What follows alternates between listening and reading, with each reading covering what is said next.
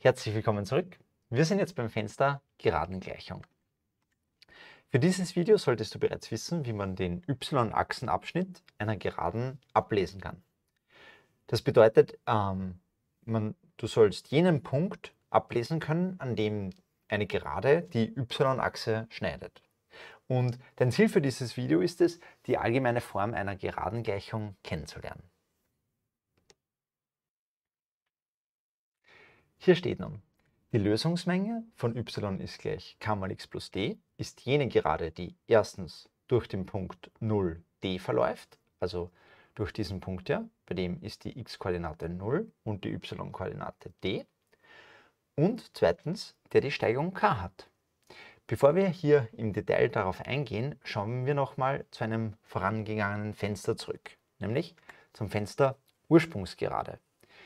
Hier haben wir schon gezeigt, dass die Lösungsmenge von y ist gleich k mal x plus d jene Gerade ist, die durch den Ursprung geht, also durch den Punkt 0, 0 verläuft und zweitens die Steigung k hat.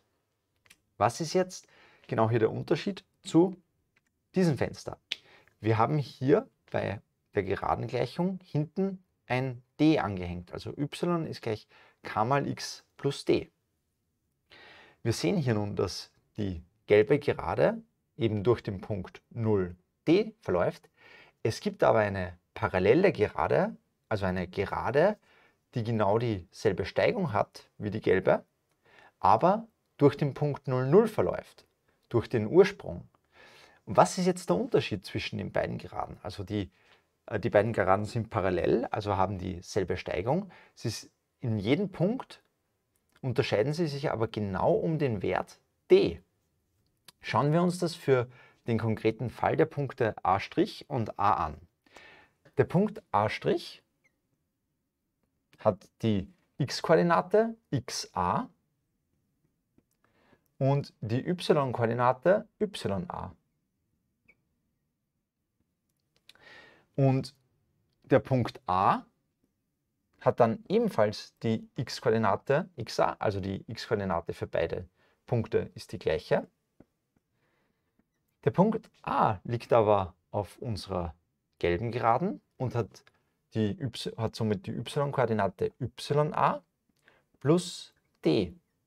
Also dieselbe y-Koordinate wie der Punkt A', aber genau um d nach oben verschoben wir können nun sehen, dieser Punkt A' liegt ja auf der türkisen Geraden, ist somit eine Lösung, also ist Lösung. Ups, jetzt habe ich hier reingeschrieben, ist Lösung von y ist gleich k mal x. Und der Punkt A liegt auf unserer gelben Geraden und ist damit eine Lösung, also ist Lösung von y ist gleich k mal mal x plus d.